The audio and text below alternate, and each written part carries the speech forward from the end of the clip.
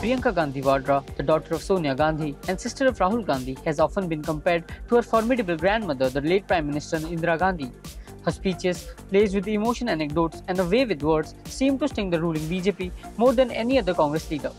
Despite her popularity, charisma, and accessibility, the niggling question remains what and who is stopping Priyanka from taking the electoral plunge? Well, there are a few reasons behind this. Let's decode them one by one. Number 1. Not the right timing. Priyanka has played the role of crisis manager for the Congress time and again, stepping in during crisis in Rajasthan, Himachal Pradesh, and even influencing the party's candidate selection in Himachal. However, party insiders suggest that each time she comes close to the contesting elections, something or the other intervenes, leading to a delay in her much awaited debut. Number 2. Team Rahul versus Team Priyanka. Within the Congress, there is a perception of rivalry between Team Rahul and Team Priyanka. Some believe that Priyanka cannot rise on the failure of Rahul Gandhi, as the Gandhi siblings trust each other the most. Her critics also point to her temper and tendency to sideline those who do not listen to her.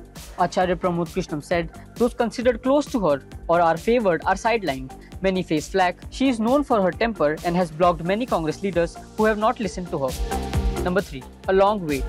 Despite these challenges, there is a belief that Priyanka's chance to contest elections will come, possibly from Wayanad or Raebareli, in case Rahul wins from both and has to give up one seat. However, for her to step into Rahul's shoes and lead the party, Congress must perform well under her leadership, which could be a long wait. The Amethi Raebareli equation, which has traditionally been the Gandhi family's stronghold, has ignited questions and theories surrounding Priyanka's political future. While her supporters eagerly await her electoral debut, her critics question the delay and the party grapples with its internal dynamics.